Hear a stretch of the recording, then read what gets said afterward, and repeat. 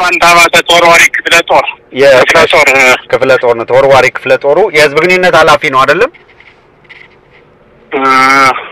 እሺ ትክክል። እሺ እንግዲህ በየተራ ከሁለታችሁ ሁለታችሁም እንድትቀጥሉ እያሱ ላስቀድም። አንተን እንደው በአጠቃላይ ከትላንትናው ባሻገር ረዳት ፕሮፌሰር እና የአርበኛ በጣም በነገራችን ላይ በጣም በብዙ ሰው በህሊናው የሚስለው በእድሜ በጣም ገዘፍ ያለ ትልቅ ሰው አድርጎ ነው እና በትላንትናው ዕለት ማለት ሌላው ከሚያውቅህ ውጭ ያለው ማለት ነው።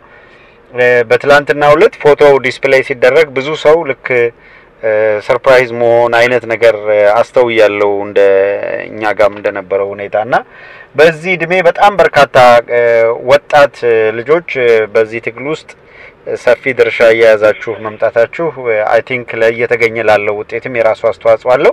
እንደው ከትላንትናው ባሻገር በዛሬው ዕለት የተመዘገበ አዲስ ድል አለ ወይ? የአገዛዙ ሰራዊትስ ምን አይነት እንቅስቃሴ እያደረገ ነው በጎንደር? እናመሰግናለን ሀብታሙ። እንግዲህ ትናንትና በተለይ ከታች ጋይንትና ላይ ጋይንት ሙሉ የጋይንት መስመሮች ላይ የነበረው ኦፕሬሽን በተመለከተ ዘርዘር ያለ ማብራሪያ ሰጠንበታል። በአርበኛ ከፍያለው ደሴ የሚመራው የገብርዬ ክፍለ ጦር ብዙ ጀብዶችን ነው ሲፈጸም የዋለው።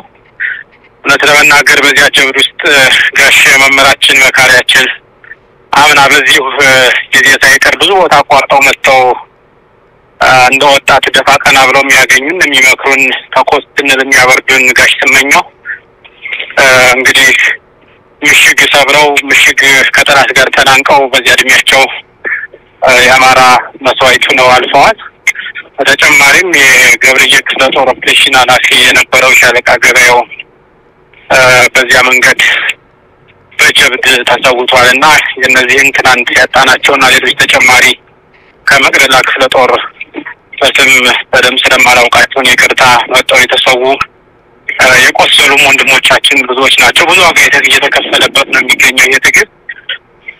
ይህን ከእነሱ ላይ የነበረውን ጫና ለመቀነስ ደብረ ታቦር ሙሉ ከበባ ላይ እንደነበረች ተናግረናል። ትናንት ወረታ፣ አንበሳሜ፣ ሐሙሲት እስከ ባህር ዳር ዙሪያ ዘንዘልማ ድረስ ማለት ነው ከፍተኛ የሆነ ከዋና ውጥረት ነበር። ዛሬ ጠዋት ሁሉም ነው በተመሳሳይ ሰዓት ኦፕሬሽን የጀመረው።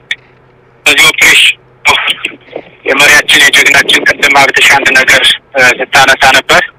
እውነት የአማራ ሕዝብ በቅጡ ሳይረዳው በክፍለ ዘመን አንድ ጊዜ ሊፈጠር የሚችል ክስተት ሜጀር ጀነራል ውባንተ አባተ ያጣነው የተሰዋ ጀግናችን ነው። ግን ሁላችንም ከሲቪል ህይወት ከአካዳሚክ ህይወት ወጥተን ወደ ትግል ስንቀላቀል ተስፋ የሆነን ዋርታችን መጠያችን ሲሰዋብን እንድ ባልወሰደ ጊዜ ውስጥ ስሙ ተወርዋሪ ክፍለ ጦር አቋቁመናል። የዚህም ዋና መሰረቱ ሙሉ ጎንደር ላይ እየተሽከረከረ በሁሉ አሟገልባት ስለነበር ህልሙን መላ አማራው ላይ እንደዚያ ማድረግ ነበርና ህልሙን ማስቀጠል ስላለብን ልጆቹ ደግሞ ክፍለ ጦር ተወርዋሪ ክፍለ ጦር በስሙ አቋቁመን ከጎንደር ከተማ ጀምረው ወጣው እነኑ ጓዶቻችንም የበኩር ልጁ ሳይቀር የሚገኝበት የክፍለ ጦር ጭምር ማለት ነው። ዛሬ ደብረ ታቦር ከተማን ተቆጣጥሮ ነበር። ከጉና ክፍለ ጦርና ከጀነራል ነጋ ተገኘ ክፍለ ጦር በአርበኛ ጸዳሉ ደሴ የአማራ ፋኖ ጎንደር እዝ ውስጥ የሚገኝ ክፍለ ጦር እና በነሻለቃ አዲስ የሚመራ ክፍለ ጦር ነው። እነዚህ ሶስቱ ክፍለ ጦሮች ናቸው ዛሬ በደብረ ታቦር ከተማና ተጨማሪ ብርጌዶችም ጭምር ማለት ነው ከብና አስተው ጀብድ ሲፈጽሙ የዋሉት። ምናልባት ቅድሚያ እዚህ ላይ ለሜጀር ጀነራል ባንታ ባተ ተወርዋሪ ክፍለ ጦር ህዝብ ግንኙነት ለብዙ አየው ልስጥና እኔ በኋላ መመለስ እችላለሁ። ሀብትሽ በጣም አመሰግናለሁኝ ረዳት ፕሮፌሰር አርበኛ እያሱ አባተን። መምህርና አርበኛ እንግዲህ መምህርም አርበኛም መምህር የነበረ ሰው ጓዙን ጠቅልሎ ወደ በተሟላ ጊዜ ወደ አርበኝነት በመሸጋገር ነው። አርበኛ መምህር አርበኛ ብዙአየው ወንድምነህ የሜጀር ጀነራል ውባንተ አባተ ተወርዋሪ ብርጌድ ተወርዋሪ ክፍለ ጦር የህዝብ ግንኙነት ኃላፊ በዛሬ ውሎ እንደው አጠቃላይ ተወርዋሪ ክፍለ ጦሩም ከሌሎች ክፍለ ጦሮች ያለውም ቅንጅት በጣም የሚገርም ነው። ቀደም ሲል እንደተገለጸው የመቅደላ ጽናት ክፍለ የመቅደላ ጽናት ክፍለ ጦር በኮሎኔል ፋንታውን ሞሀባው የሚመራው ከወሎ ተነስቶ ወደዛ በመገስገስ አብሮ መሳተፍ በሰሜን ቀጠናም ያሉ በርካታ ክፍለ ጦሮች እንደዚሁ መቀናጀት እና በአጠቃላይ የአማራ ፋኖ በጎንደር እና የአማራ ፋኖ የጎንደር እዝ የጋራ ቅንጅት መፍጠር በዚህም እየተመዘገበ ያለው ድል እንደው በአጠቃላይ ይሄ በሜጀር ጀነራል ውባንተ አባተ የተሰየመው ተወርዋሪ ክፍለ ጦርም አሁን በዛሬ ተጋድሎ በተገኙ ውጤቶች ላይ የነበረው ሚና እንደው በአጠቃላይ ምን ይመስላል የትግሉ ሂደትና የተገኘው ውጤት? አመሰግናለሁ ሀብትሽ። ዛሬ እና ከባለፉት ሁለት ቀንና ሶስት ቀናት የተለያዩ ገድሎች በሜጀር ጀነራል ውባንተ ተወርዋሪ ክፍለ ጦር ሲሰራ ነው የዋለው። በተለይም ደግሞ በሰሜኑ አቅጣጫ የሜጀር ጀነራል ውባንተ አባተ ተወርዋሪ ክፍለ ጦር የሚንቀሳቀስበት በሰሜን ጎንደር አቅጣጫ አዘዞ ክፍለ ከተማ ላይ ከፍተኛ ጥቃት ማድረግ ተችሏል።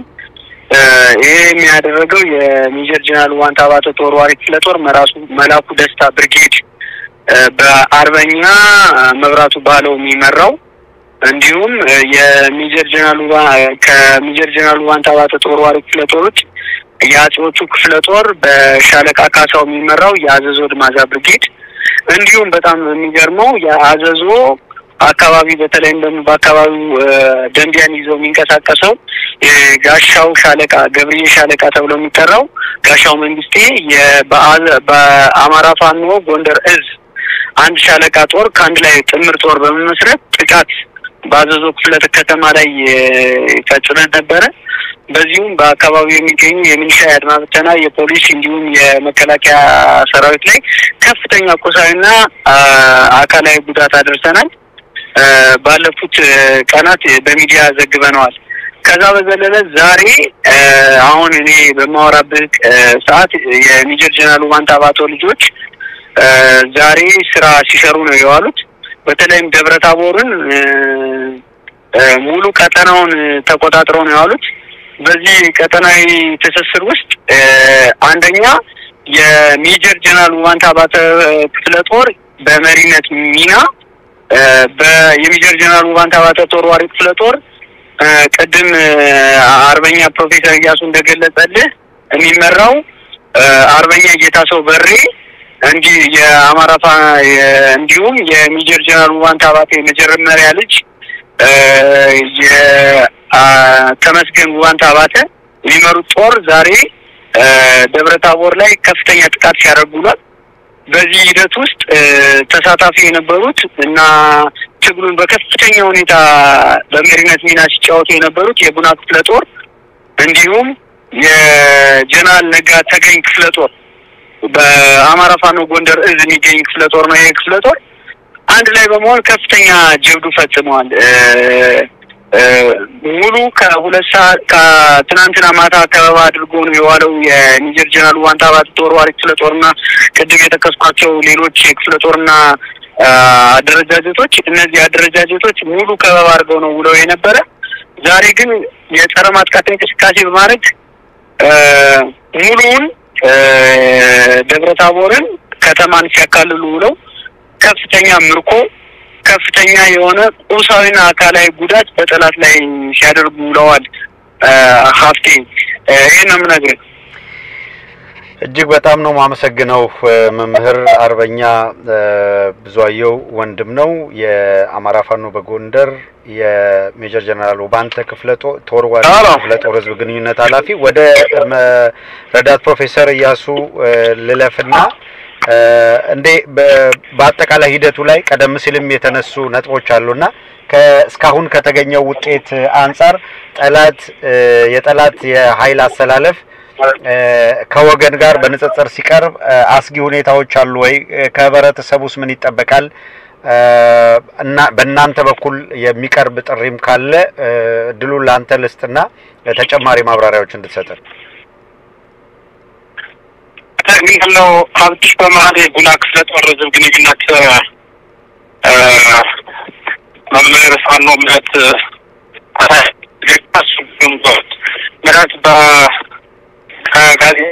በጣም አያሌው ጋር ስለነበረው የጀብድሎ መረጃዎችን እየሰጠን ነው። እኔ ጠቅለል ያለውን አርበኛ ብዙአየሁ ደግሞ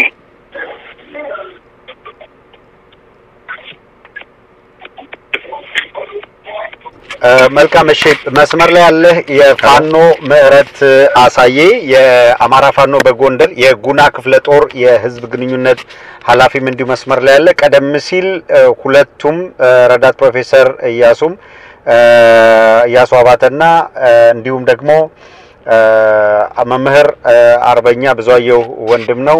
የሜጀር ጀነራል ውባንተ አባተ ተወርዋሪ ክፍለ ጦር የህዝብ ግንኙነት ኃላፊ ሁለቱም ሀሳብ አስተያየታቸውና የዛሬ ውሎ መረጃ ሲሰጡን ነበረ።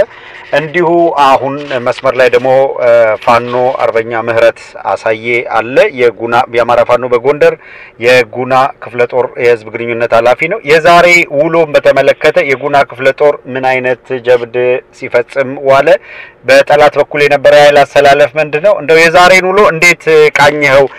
እንደ ህዝብ ግንኙነት ምን ይመስል ነበረ? በጉና ክፍለ ጦር በኩል የነበረው እንቅስቃሴ። እሺ፣ አመሰግናለሁ። እንግዲህ ዛሬ በጣም በሚገርም ሁኔታ በደቡብ ጎንደር ዞን ዋና መናገሻ ደብረ ታቦር ከተማ ላይ የአማራ ፋኖ በተለይ የአማራን ፋኖ ጥምረት ያሳየ የጀግኖቹ ውጊያ በጥበብ በጥቅሻ በመግባባት የጦር ጥበባቸውን በሚገባ ለወንበር ጠባቂው ቡድን ያሳዩበትና በተለይ ለደብረ ታቦር ከተማ ህዝብና ለደብረ ታቦር አካባቢ ማህበረሰብ የፋኖን አንድነት ያስደሰትንበት ውጊያ ነው።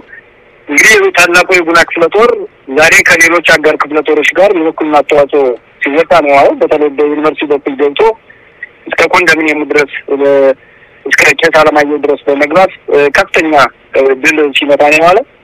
ከዚህ ጋር በጎን እንግዲህ ቅድም ጓዶች እንዳሉት የሜጀር ውባንተ አባተ ተወርዋሪ ክፍለ ጦር መሀል ከተማን በመቆጣጠር እንግዲህ ፖሊስ ጣቢያ አራት ቀበሌ ያለውን አንደኛ ፖሊስ ጣቢያን ሙሉ ተተኳሹን ጭምር ተቆጣጥሮ የወንበዴው ወንበር ጠባቂ ወይም ደግሞ አገልጋይ አገልግሎት እንዳይሰጥ ያን ፖሊስ ጣቢያ ማድረግ የተቻለበት ሁኔታ ነው ያለ።